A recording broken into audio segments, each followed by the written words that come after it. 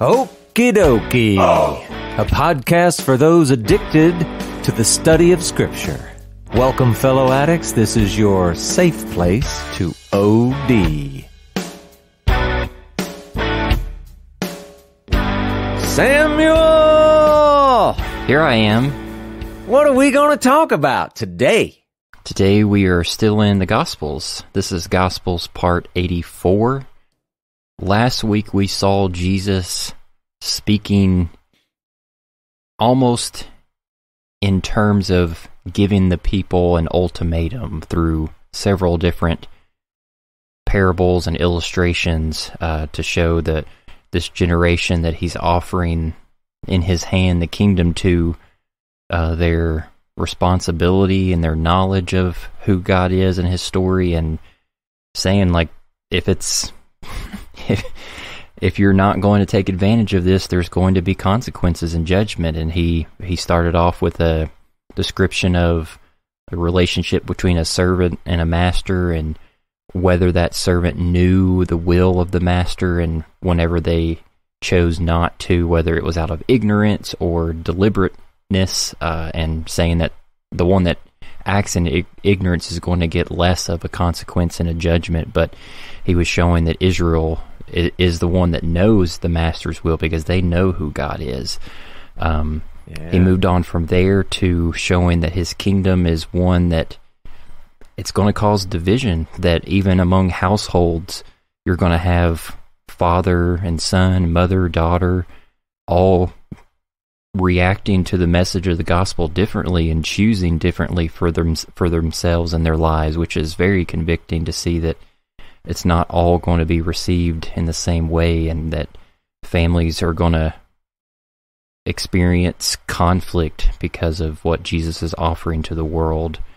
Um, Yeah. And then he ended with talking about this magistrate, and whenever you have an accuser coming before you, like, why, whenever you're on your way to the judgment, would you not try to do all that you can to make amends along the way, along the road before it's too late? And Jesus is again offering, like, guys, it's it's getting close to the end here. Uh, I need you all to repent, uh, or it's you're not going to get to experience this. Yeah, it was. I I remember, you know, feeling like, generally speaking, it was a bit of a downer. Jesus was kind of in a mood or something, right? But he's, again, he's working toward the end. We are, I don't know, maybe somewhere in the middle of that last six months. And so it's understandable. I mean, if you were him you knew what you were headed for, well, yeah, I might, I might be a little slightly cranky myself. I don't know. But you know, let's keep going because uh, you know he, we're going to see ups and downs. Uh, we're going to be continuing in Luke today. Uh, we're beginning in chapter thirteen. We're going to look at verses one through five, and this just a little weird. But let's let's read it and see what we got. There were some present at that very time who told him about the Galileans whose blood Pilate had mingled with their sacrifices. And he answered them, Do you think that these Galileans were worse sinners than all the other Galileans because they suffered in this way? No, I tell you. But unless you repent, you will all likewise perish. Or those 18 on whom the tower in Siloam fell and killed them? Do you think that they were worse offenders than all the others who lived in Jerusalem? No, I tell you. But unless you repent, you will all likewise perish. okay. We're not cheering up quite yet, but you know, this it, I mean, aren't isn't this weird pulling out these little stories, local stories? I mean, we you'd never hear anything about this, but somehow it shows up in the in the gospels. So here we are in Luke. Um, uh, you know, Jesus, uh, he is. He's just continuing his talk about judgment. And then at some point, some in the crowd, they, they share the story of this horrible event that has occurred uh, apparently recently. And Pilate has apparently, killed some Galilean Jews. Now, this was kind of funny to me. I read it and I took it only one way, but some people read it a different way. So the question is uh, whether they were offering sacrifices in the temple and Pilate, you know, they were killed during that. And I'm going to I'm to rate that one as highly likely. and then other people actually think that it may have been part of some obscure Roman sacrifice thing which you know they had a bunch of reasons why that was possible and and all this stuff. So you know i'm I, i'm just going to throw it out there as possible even though it doesn't really sit well with me. I think that this was jews making sacrifices in the temple and then they got killed by pilate so it's funny it reads kind of like a statement but it's it's also and, and certainly jesus treats it a, a little bit like it was a question and, and he goes ahead and answers the question and what he's doing is addressing a contemporary cultural belief. And we've talked about this before. There were many who believed that any kind of sickness or handicap or early death or anything like that, it was a result of the individual's own sin. And we've mentioned this before. Scriptures, scripture offers a lot of evidence that this is just not the case. And yet the thinking was common. Now, we could say, well, look, in, in the, the, the big picture, if you're just stepping back and you can see it all, you could make a statement like, well, it is true that every bad thing is indeed the result of sin in some way. You know, generally, that's true. But it's just not always directly connected. You know, the bad thing happens to the person who sinned. It's sometimes you know, you can can bear the brunt of somebody else's sin. It's it's it's just a thing. So so Jesus asks if they think that the people who were killed in the temple does do do they think that they were worse sinners than everybody else or or maybe just all the other Galileans? And it's that idea of, well, they went through some sort of extreme suffering or death or whatever. It must be because they were involved in some sort of extreme sin. And he asks because he wants to change their thinking. And this is really good. It's good for us even now today. See, you can't look around at yourself and at other people, circumstances. You cannot judge eternal destinies by the things you see happening in people's lives here in creation. I mean, we can look at things, and I mean, We've all done it. You look at it and, and it might appear like, wow, that, I mean, you know, that almost looks like some sort of judgment from God. That's a, you know, whatever. That's bad. Or you might look at other things and you go, well, isn't that just a blessing from God? And I mean, we could even be right sometimes, whatever, but don't, don't get caught up thinking that you have some clue about a person's eternal destiny. You need to just back off that. And you know, you don't even have to like like I'm talking about like the big spiritual picture. It, it applied then, it applies now, all that. But something we should try to remember is back in this time frame. Remember, we are 40 years away from the temple being destroyed. And so, when it says, "Hey, no, I tell you, but unless you repent, you will all likewise perish." Okay, there this also could have been a fairly direct comment toward what Jesus seems to know is going to happen to the temple in the near future. So that's a thing too. So kind of remember that. But anyway, eh, he, he raises a second example. It's, it's a lot like the first. Apparently, there were 18 people who were killed when a tower fell in Siloam. And so it's kind of the same thing. Similarly, it, Jesus is asking if anybody thinks that they were worse sinners than everyone else, at least everyone else in Jerusalem. Same idea. They must have done something wrong. That's why they suffered this crazy thing. But again, he tells them it's just not so. It isn't the way things work. And, you know, the same thing. There's the big spiritual picture where we can see how this applies then and now and all this. And you never know. There may be some, some hint toward the upcoming destruction of the temple. Anyway, in both cases, Jesus, you know, he's just offering some clarity, apparently clarity that he thinks they need. There's only one way to avoid perishing and we might even for our for our sake now today we might look at this and go look there's only one way to avoid perishing eternally. But either way it's the same answer. Repent. You got to return to god. You got to be faithful loyal obedient and not the way you see it. You got to be faithful loyal and obedient the way it's defined in torah. And there this is where uh, everyone's security lies. Regardless of what things look like all around them, you might walk around for, I don't know, all the years of your life, and everyone around you could look at your life and be thinking, my goodness, God really doesn't like that guy. He's just walking around in judgment all the time. And you might actually be just 100% completely, totally secure because you are faithful, loyal, obedient to God, you know, all that kind of thing. You just can't tell by the look of things.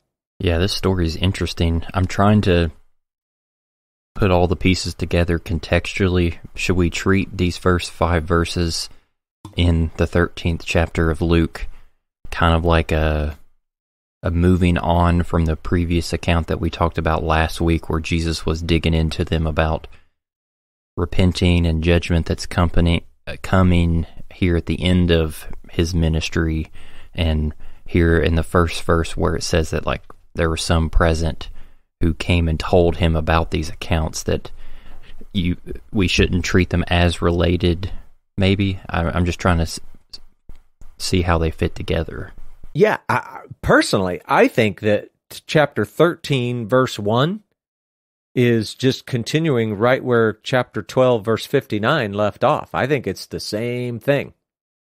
The the continuing story. He he was talking a lot about judgment then and he's just continuing it right here. Hmm.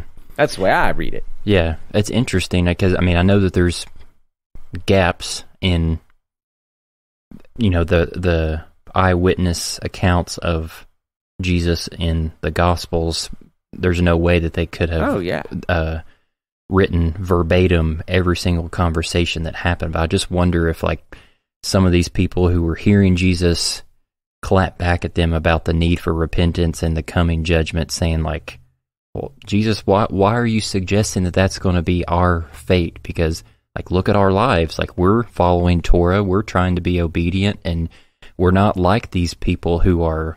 you know, sick and mangled and uh, right. experiencing all of this hardship that we we are usually accustomed to their sinfulness and Jesus is now addressing that to be like guys you're not getting it. Like you can't be playing the comparison game here. Yeah. No I think what you're saying is awesome. It's, it's really really good. You, what you made me think of is you know what? It's it, and it's I, i'm going to now move away from the point of the text and sort of back up and talk about just the text itself and say well now remember Luke is writing this. He's writing it years. I mean, we might even be reasonable in measuring it in decades after Jesus was going through all this stuff. So Luke may be presenting it as a continual story because all of these little accounts fit together in his mind. And maybe they didn't really happen all together in one day or one short time time span or whatever. Or it could be that Luke, you know, he got some good info about, oh, there's this one time Jesus, blah blah blah blah blah, and they tell the, and maybe it it all happened all at once. So so those are things we don't know either. I mean, we got to leave room for.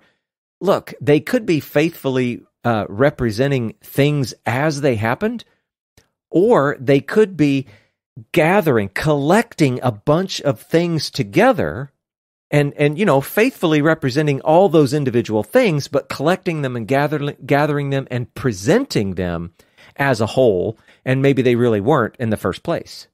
So i don't know. There's a lot of stuff like that samuel. It's hard to know. Yeah. Uh, i would say at the very least i think it's fair to say well at least the way luke is presenting it this is a this is a, a continuation. Okay where we left off. So yeah. I, I, don't know. It's good. It's good question. Good point. So I don't know.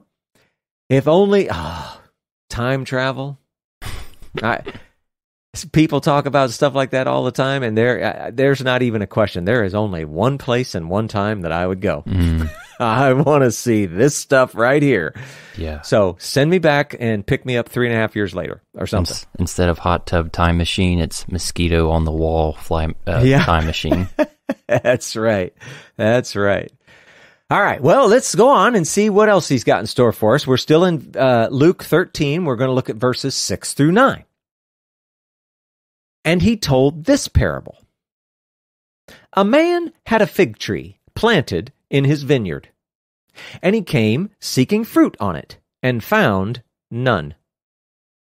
And he said to the vine dresser, Look, for three years now, I have come seeking fruit on this fig tree, and I find none. Cut it down. Why should it use up the ground? And he answered him, Sir, let it alone this year also, until I dig around it and, and put on manure. Then, if it should bear fruit next year, well and good. But if not, you can cut it down. Well, that's, I mean, that's an interesting parable. I mean, in terms of like the, the agriculture part of it, I mean, we can easily picture it in our heads and it all kind of makes sense, but surely Jesus wasn't giving us lessons about how to grow trees or something. I mean, so what, what is he talking about? It's an interesting parable. So we're going to see more about fig trees in upcoming stories, but, but here, Luke is fitting it into this continuing theme on judgment. And so, uh, just a side note, this, this whole imagery of figs and vines, Samuel, do you know what that represents? Do you remember we've talked about this? Uh, I know that there's talk about in the kingdom in the next age that everyone will sit under their own vine and fig tree. Yes, exactly. That's perfect. The whole imagery of figs and vines, it's all closely connected to the kingdom. And so, fig trees, in this example, a fig tree not producing means that that kingdom image is in jeopardy. So the basic idea is that a vineyard owner will not tolerate, at least not continually, will not tolerate a tree or plant that isn't producing. He'll remove it.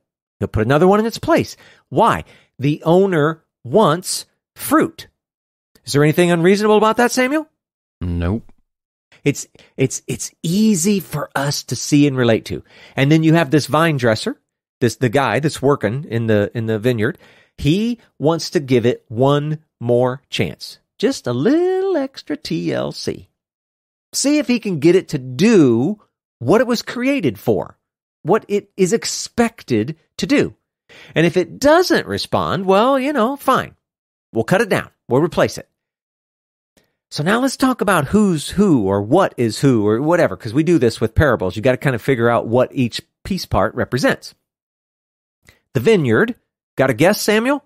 Uh, would that be Israel itself? Yes. The vineyard, and this goes, uh, you know what? I didn't look it up. I should have had a reference. I don't have one. The vineyard is Israel. Comes right out of the text. So now within the vineyard, the vines and the trees might represent Mm, individual Israelites or, or, or maybe generations of Israelites, something like that. I can't be sure. But this barren fig tree, now this one, it starts to get a little easier to understand. The barren fig tree that Jesus is talking about in these people, in this context, is this generation in Israel.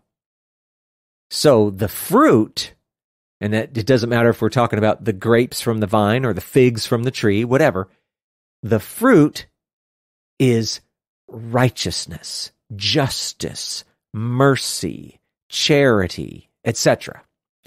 So, eh, well, and and we might even add because we do this all the time.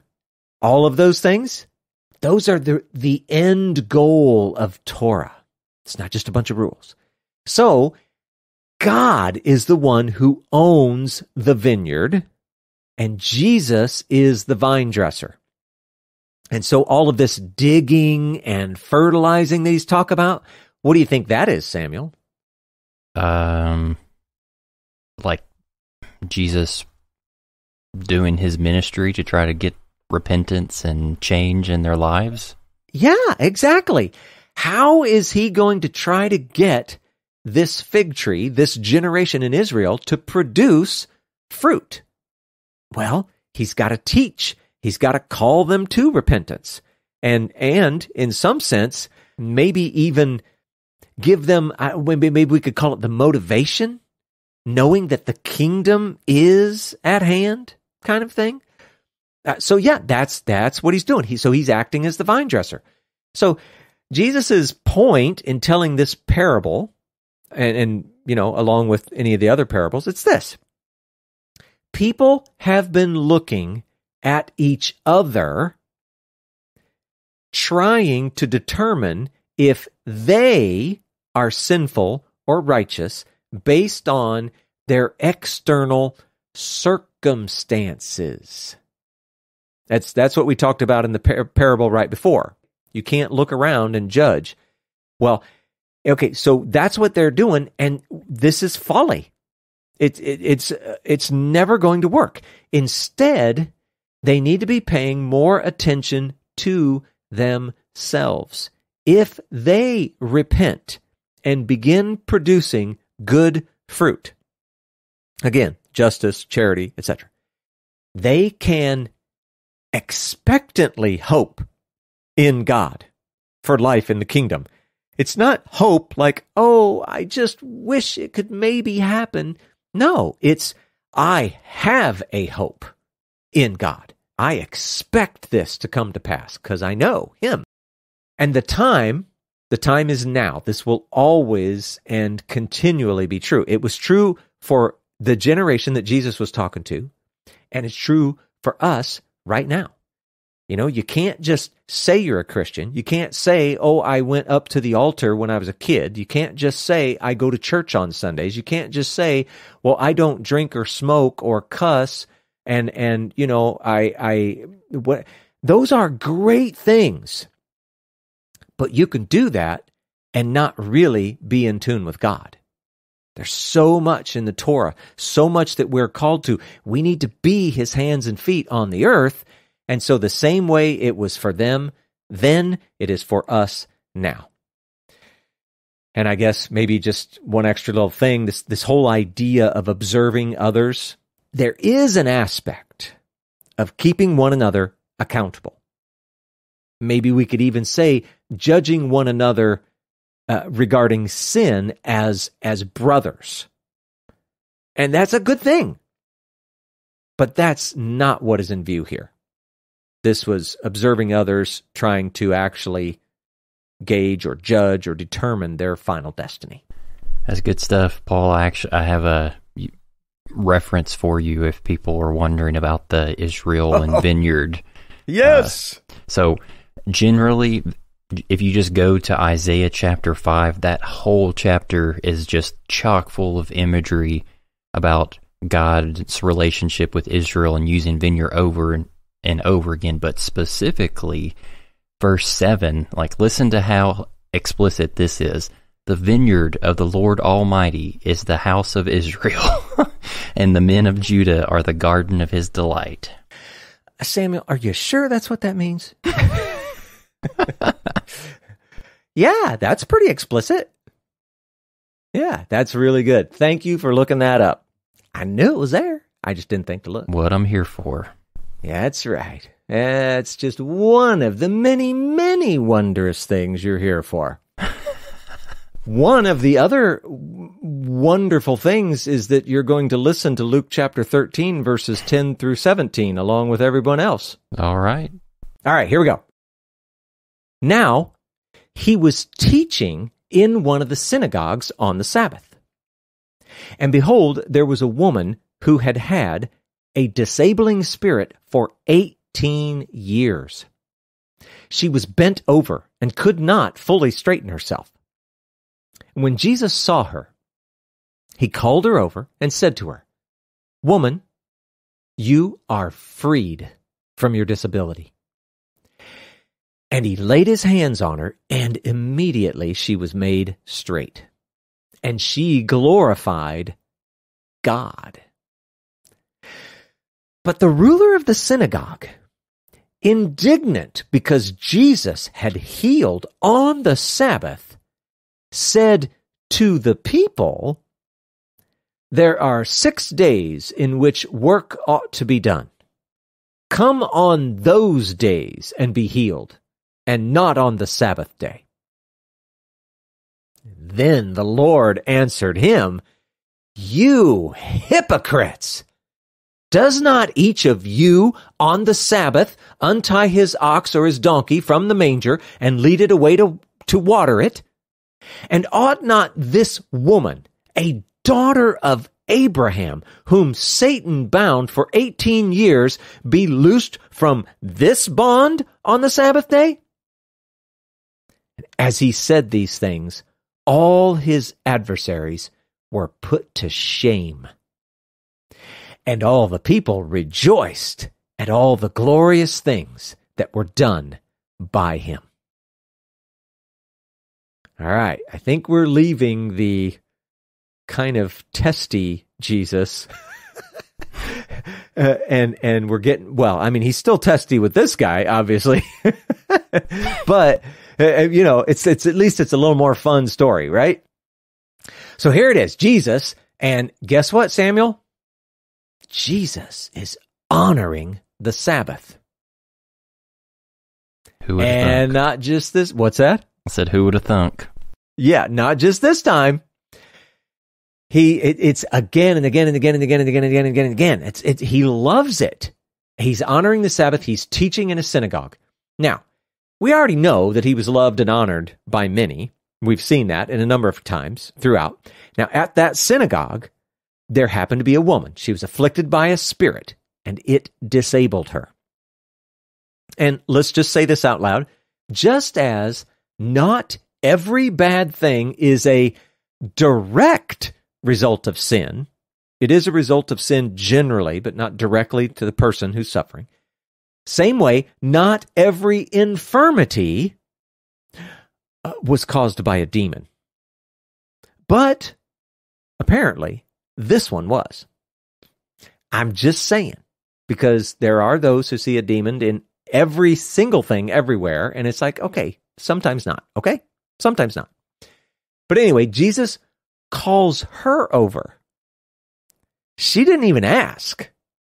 She was just sitting there enjoying synagogue on Saturday, right? She just, he calls her over.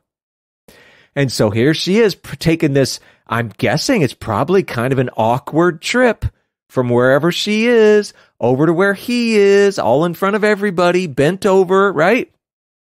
He declares her healed.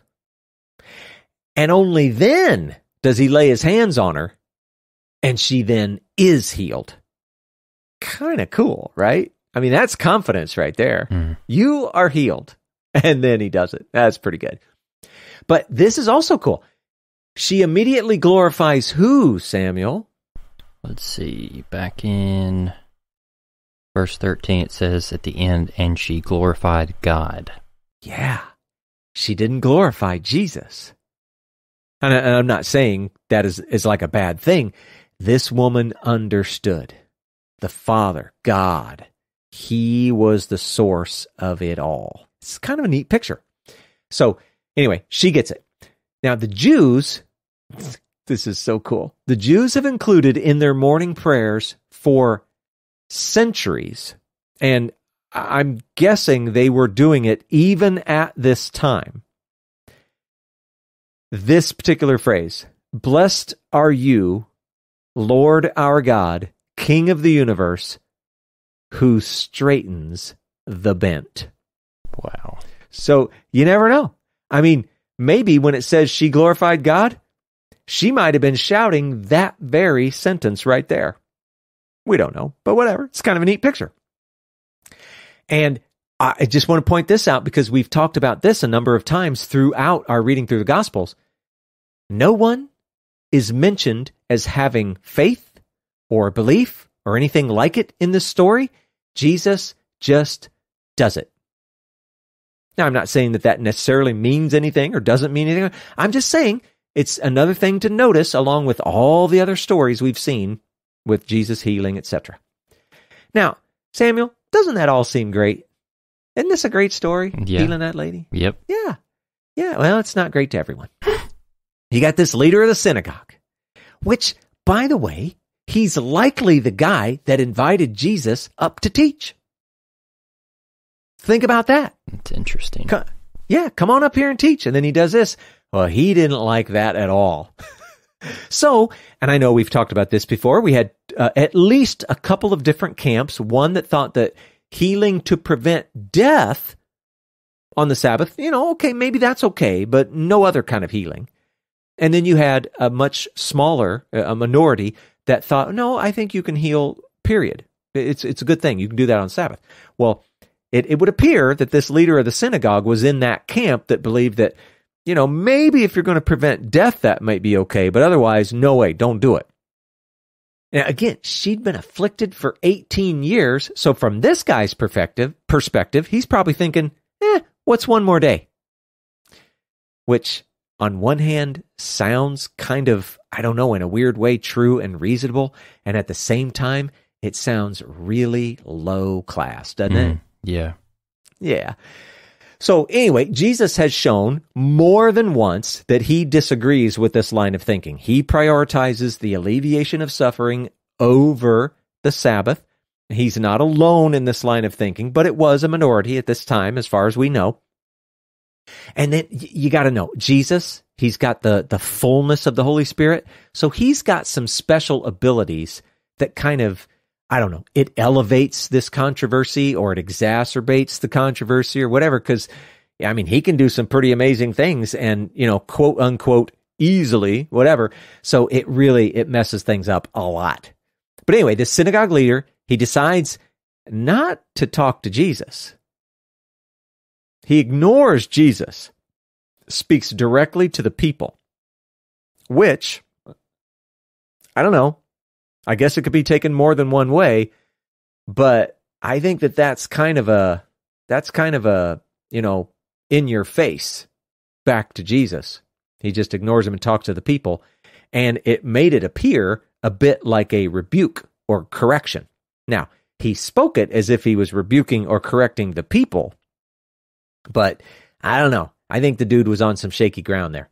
Uh, th- there were probably uh, some in attendance who were equally offended, like the synagogue leader was, and you know they're probably murmuring their disapproval or whatever. But then you had others who maybe agreed with Jesus, whatever. Well, here's the thing: the synagogue leader may not have liked it, but guess what? Jesus didn't like what the synagogue leader did, and so he calls them all out. The synagogue leader and anybody who agrees with him calls them all hypocrites. And again, these are actors, pretenders. And here's why because they would all untie and lead one of their animals to water on a Sabbath, alleviating an animal's suffering. But they were unwilling that they or anyone else should loose the bonds, or we could say untie, a human. Now, notice Jesus never actually argued that this was not a violation of Sabbath. He's simply arguing for a better understanding of what Sabbath was really about. Just that this idea that alleviating human suffering was more important. We've seen the argument played out before. Jesus' opponent, Jesus's opponents were, in fact, acting shamefully.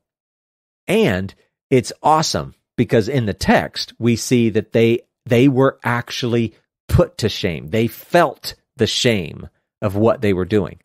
Now, okay, Samuel, this probably isn't our best emotion, but when you see stuff like that happen in the gospels, kind of kind of feels good, right?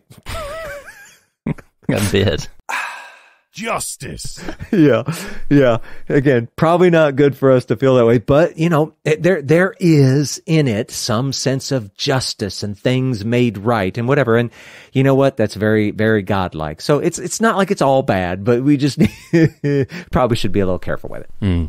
Anyway, the majority, it seems, recognize that these works are from God, they are glorious, and they rejoiced. And so the the stuffy, stodgy, religioususy types, they sort of get theirs, and the people love that Jesus is, you know, doing the good stuff. God's doing it through him. So. Mm.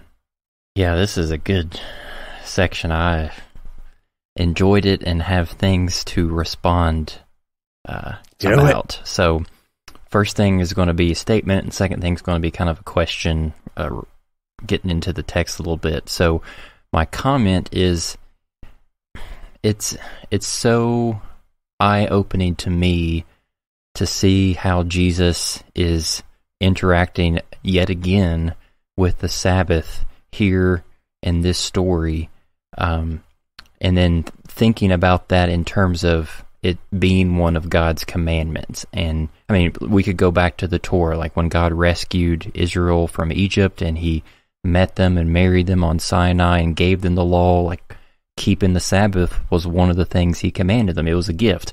Um, and oftentimes, like we, from our Western perspective, we treat God's commands as like without a doubt hard black and white like thou shalt not lie like we we hear that commandment and we think like you know it there's no other way to interpret that like telling the truth always is in God's favor, and if I lie in any sort of circumstance, that's a sin. But here's an example of just the way that Jewish thinking, to what lengths they go to prioritize compassion, mercy, uh, minimizing people's shame and disgrace in their lives. Um, there was this thought in in Jewish like halakha, like trying to interpret the law in their daily lives that um, if there was a circumstance socially when you're interacting with someone and for whatever reason in the conversation something gets brought up uh, truthfully that causes that person public disgrace or shame mm. that the rabbis said in that case it would be more preferable for you to lie about that person's character in order to honor like their integrity um, and, you know, bring Protect up stuff privately. Yeah. yeah. Yeah. And it, I, I think that's just a great example that kind of fits in the same vein as right here in uh, this instance about the Sabbath. Like, I'm not trying to say that we should treat God's commandments as this, you know, rubber and we can bend them however we want to. I, I'm I'm bringing it up more to show the dynamic nature of who God is and how he's meeting humanity where we are at and what we're battling with and dealing with with one another with yeah. the commandments that he's given us. Yeah, priority plays such a role and and that is very foreign to modern American Christian types and maybe everywhere in the world. I don't know. But yeah, you're exactly right. Here's a, I, I know you have more, but this is one of my favorite examples. So, World War II, Nazism, there were people who were saving Jews, and how were they doing that? They were doing that by lying, hiding, deceiving, all of those things, but they were saving lives. That was good. And if you live in a world that's all black and white, you would go, well, those people are going to hell because they saved those people by lying. Mm. and it's like, okay, that sounds weird, doesn't it? When you say mm-hmm. it that way. So yeah, the, they're, it's a great example. So I'm sorry. Go ahead. No, no, I'm glad you responded to my response. That's good. Um, my question about the text is, uh, I, and I wonder if other listeners picked up on this in, uh, let's see.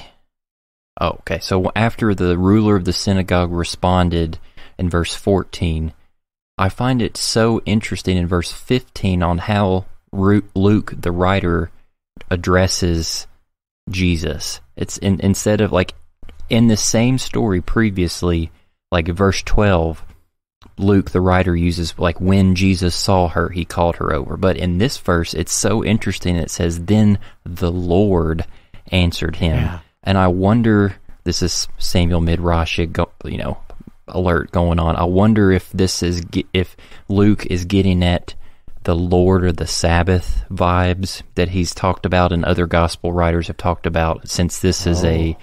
Story about um, the Sabbath, and Luke himself in this very gospel says it. Uh, it's like in Luke chapter 6, verse 5. He has Jesus himself saying, The Son of Man is Lord of the Sabbath. So I, I just Yeah. wonder if there's a connection there. That's really good. Yeah, I mean, obviously, I can't answer your question, but I think that's a great that's a great way to look at it. A great way to contemplate the text and look for those connections. That's super cool, Samuel. Yeah, it's like maybe Luke brought it up to say, like, who, who would know the Sabbath better than the Lord of it, the master of it? And that's why he addresses him as the Lord there. Oh, that's good. That is good. I like it. It's funny because you you you wondered if anybody caught that, and I remember when I was reading it, I had that little thought in the back of my mind. Oh, look, he called him the Lord. But you actually brought it out, you know. Mm. So it's good. It's good. Like it. Like it. All right. Anything else? Let's keep moving. Uh, Well, this next one is long. It may be the last thing we do, but you know, be patient while I read it. Here we go. We're looking at Luke chapter 13. We're just continuing. This is now verses 22 through 30. Says this. He went on his way through towns and villages, teaching and journeying toward Jerusalem. And someone said to him, Lord, Will those who are saved be few? And he said to them, Strive to enter through the narrow door. For many, I tell you, will seek to enter and will not be able. When once the master of a house has risen and shut the door, and you begin to stand outside and to knock at the door, saying, Lord, open to us, then he will answer you, I do not know where you come from. Then you will begin to say, We ate and drank in your presence, and, and you taught in our streets. But he will say, I tell you, I do not know where you come from. Depart from me, all you workers of evil. In that place there will be weeping and gnashing of teeth when you see Abraham and Isaac and Jacob and all the prophets in the kingdom of God, but you yourselves cast out. And people will come from east and west and from north and south and recline at table in the kingdom of God. And behold, some are last who will be first, and some are first who will be last. Wow. Kind of cool and kind of crazy, huh? Mhm. So, I mean, let's just work our way through this a little bit at a time. Luke reminds us, first of all, that Jesus is heading for Jerusalem. Now, I, I think it's fair to say that this is maybe a little more thematic, like Luke, ever since, well, maybe since the the transfiguration or whatever, it's been like a, a bit of a theme. But Luke is using it just to say, look, he's on his way to Jerusalem. He's on his way to Jerusalem. And it doesn't mean that he's making one single grand trip. It just means that's where this is all headed. And Luke, you know, he's likely, uh, he, he's he, likely covering more than one trip, as we'll see later when we're going to move into John here pretty soon. But anyway, in our chronological timeline, we're somewhere in between the last of the fall festivals, Sukkot and the eighth day, and then the upcoming spring festival of Passover, which is where we're going to see his death and resurrection. So we could be somewhere near the time of Hanukkah. So just just getting you sort of situated there. Now, someone asks what I think is just a super important question. Will those who are saved be few? Now, this touches on another ongoing debate here in Jesus' time. You had you had some some uh, a group that would say, uh, no, all Israel has a share in the world to come. So it's a very broad kind of definition of who would be participating. But then you had others who they hung on to phrases something like, no, he who practices them shall live by them. And by live, they meant eternally in the kingdom type thing. So only the faithful among Israel would go. And so instead of broad, it was very narrow. And so knowing that this debate existed in Jesus' time, well, now you can see Jesus is definitely taking a side. And so he begins with some advice. You should seek to enter through the narrow door. And then he, I think, more directly answers the question many will seek to enter, but will not be able. So Samuel, in the in the most basic sense, when somebody says, "Will few be saved?" What do you think Jesus' answer is? Uh, yep.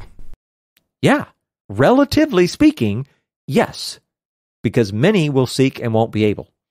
So then you got to wonder though, what's this narrow door? Anyone care to take a guess, Samuel? Uh, well, didn't we talk previously weeks ago in John about, or have we not got there about Jesus saying he's the good shepherd and he's also the door? Oh, that's right. That's right. We did the the the gatekeeper. I think Mhm. what we were talking about. Yeah, or something. Yeah, yeah. Good point. Uh, he doesn't explicitly explain it anywhere in here. So we have to go from, you know, the context here and everything else that we've been learning up to this point. And I, even, even though he's not explicit, I think it's actually quite easy. The narrow door is quite simply what you've heard us say on this podcast about six billion times repentance, loyalty, faithfulness. That's the narrow door. That's it. And so Jesus uses now an example. So he's going to try to help them understand. He uses the example of a master of a house. And now, you know, when you're invited somewhere, you, you, you can't just show up whenever you want, right? You're, you- you're invited at a certain time, a certain place, whatever. That, that's when you go. And, and you can't just show up if you're not actually on the guest list. That also would be a bad thing, right? Now, this is, you know, I'm I'm sort of leaving way for southern hospitality that says, you know, you just show up unannounced and when you're on your way out the door, they say come back when you can stay longer, you know.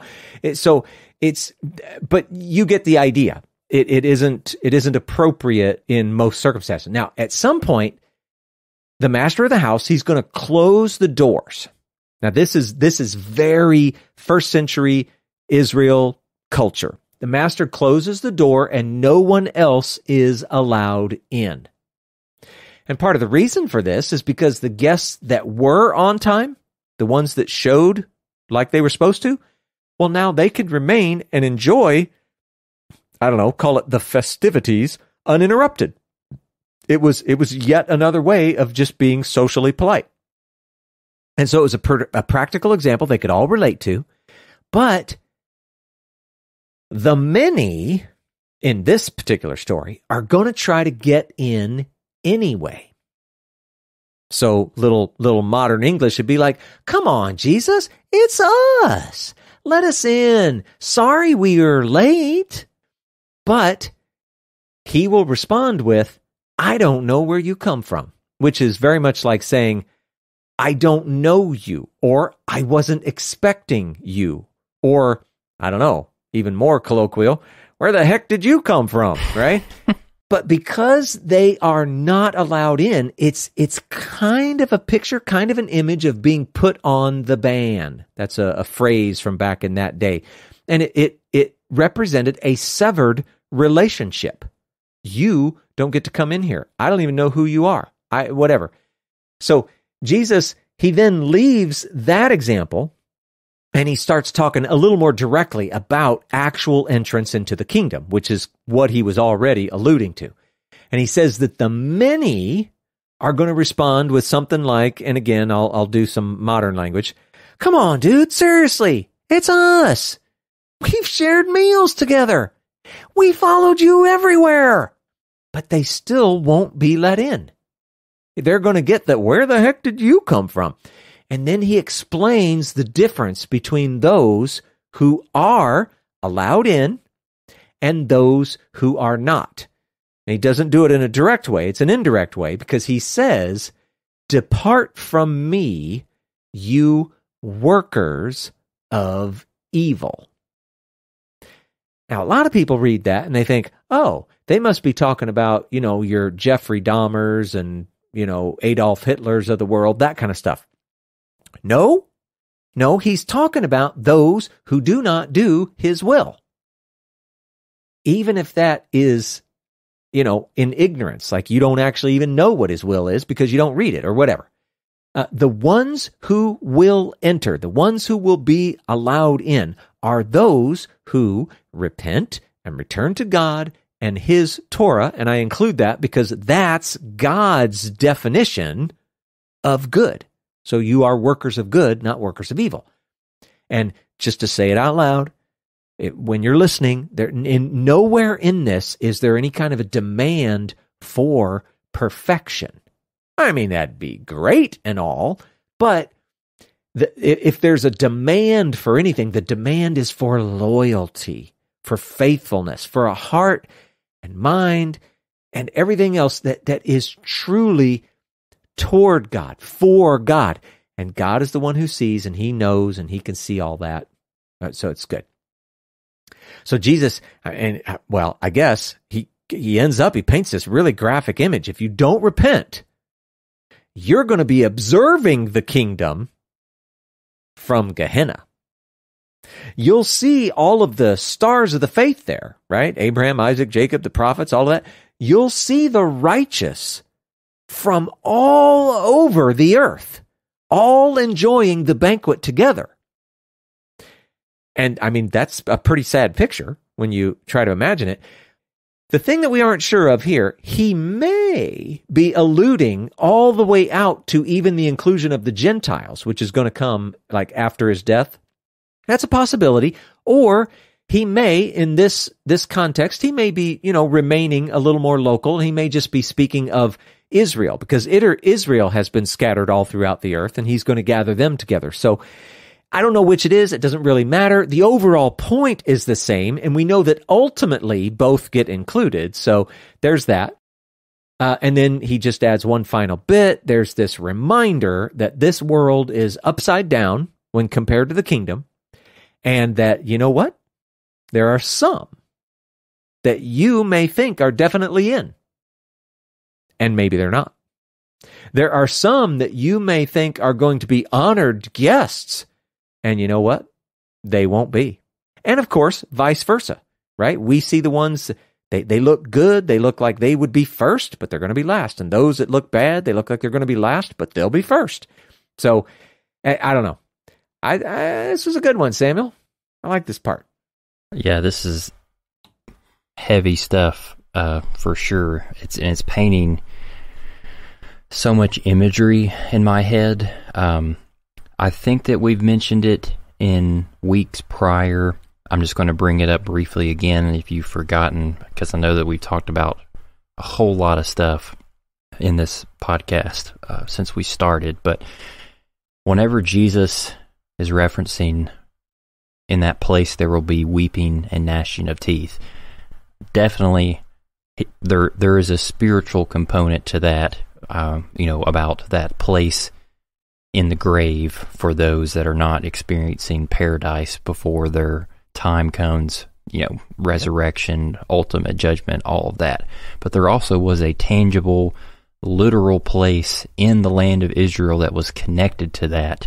Uh, it was called the Valley of Ben Hinnom. Uh, there's a couple different references in the Bible. I think Joshua 15:8 is one, Jeremiah 7:31 is another and it was this area on the outskirts of Jerusalem where it. And I'm getting a lot of this from Marty Solomon, so um, uh, there might be some gaps missing in here if you do studying on your own. But it, it was essentially treated like it Jerusalem's like trash dump. Uh, like they would send all their trash out to the outskirts of the city and set it on fire to dispose of it. Uh, and unfortunately, it was also the place where like the most impoverished people in Jerusalem would be living. And so yeah. I, I also get this picture, and, and in our show notes, um, this is just one article that I found of someone else's like messianic Jewish interpretation of this passage in Luke that we just finished. Like he argues that it could be like if Jesus is talking about the the the literal kingdom right here because he talks about you know you're going to see Abraham, Isaac and Jacob all be in the holy city with Jesus as king like that sounds very like kingdom has been literally established on earth in Jerusalem and reigning for a thousand years.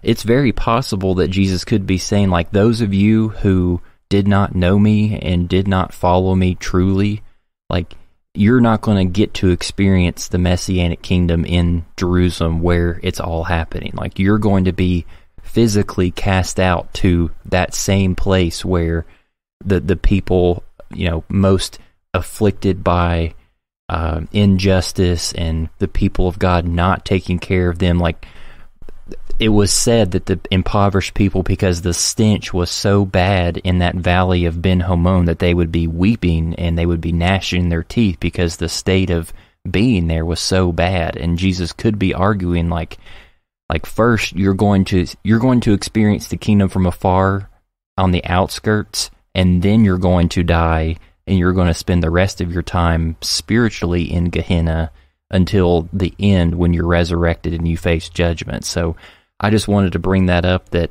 again, there's this dyadic thing going on where there's a spiritual element that Jesus is referencing, but there, he's also connecting it to the land and to the culture that they were familiar with and aware of. So I just really like details like that. That that stuff just gets me going. Yeah, that's super good. And I mean, think about it. When the kingdom comes, there will be some who are resurrected, but many, many, many, many, many will have died. Well, where are they going to be witnessing it from? Gehenna in the grave. Mm-hmm. But the kingdom isn't like everybody on earth goes away unless you're part of Jesus's crew or whatever. I mean, it's a different time, right? There are some outside the city. Well, where are they going to be watching it from? From the, The valley. Yeah, from the yeah. valley. So it's like, yeah, it's like both and, not either or. So yeah, it's a neat picture. Good one, Samuel. Well, hey, I'm thinking if we want to not cause people weeping and gnashing of teeth, we should stop right here. You think that's ever happened with any of our listeners? I hope not. no way. How could you not love us? Uh, weeping tears of joy and uh, gnashing popcorn because of how entertaining it is. See, now you've got the image. and I'm still right. We should stop. Okie dokie. Thanks for listening to the Oki Dokimos podcast. Don't forget to subscribe and leave us a rating and a review to let us know how this content is impacting your life. You can find out more information about the podcast at our website, www.okidokimos.com. Feel free to send us any questions or comments to our email address, okidokimos at gmail.com. And until next time, we pray that you will do your best to present yourself to God as one approved, a worker who has no need to be ashamed, rightly handling the word of truth. We'll talk to you again soon.